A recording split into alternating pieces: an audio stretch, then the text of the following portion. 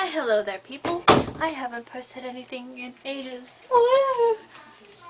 Oh my god, was that my mom? Anyway, um, I've decided to rant on about something. You, you know what? You know what I want to ramble on about? Subway. You know why? It's so complicated. I swear I can't even choose a freaking sandwich. You have to choose the bun, the size, the sauce or no sauce, the cookie and the size of the cookie and whatever you want and what eh, what the hell drink you want.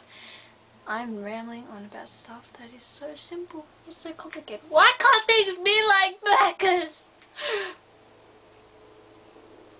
Anyway.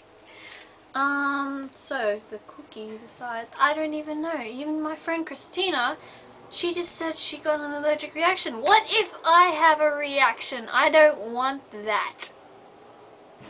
I mean, you even have to choose the sesame bun and what, ty what type of bread you want. White bread, brown bread, whatever bread, multi-grain, whatever, Lebanese. I don't know.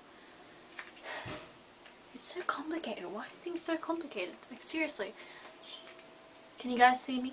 Hello? Frame? Frame? Yes, frame? Okay. I haven't rambled on about this since forever. You know what? What has also come to my attention? I don't know how to order from Boost. Shocker! I don't think I'm gonna cut out any parts of this because I don't know what the hell happened to my editing program. Sad life. Well anyway, so let's continue. Boost. I don't know how the hell you order from that place. I mean, what if I do a bad combination? It's just like Subway. I mean, you, you have the drinks right, but like, you have to choose like what the hell you want in it. Like, orange, banana, apple, mango, kiwi, blah blah blah blah blah blah blah. Oh my god, what if it's like a really bad combination and then you throw it away? Where's the four bucks, man? I'm not wasting four bucks on shit I'm not gonna drink. Alright? So, there. That concludes my whole stupid freaking rap. And I'm terrible.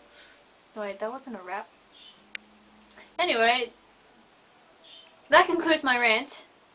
That's all I'm gonna say. Peace out.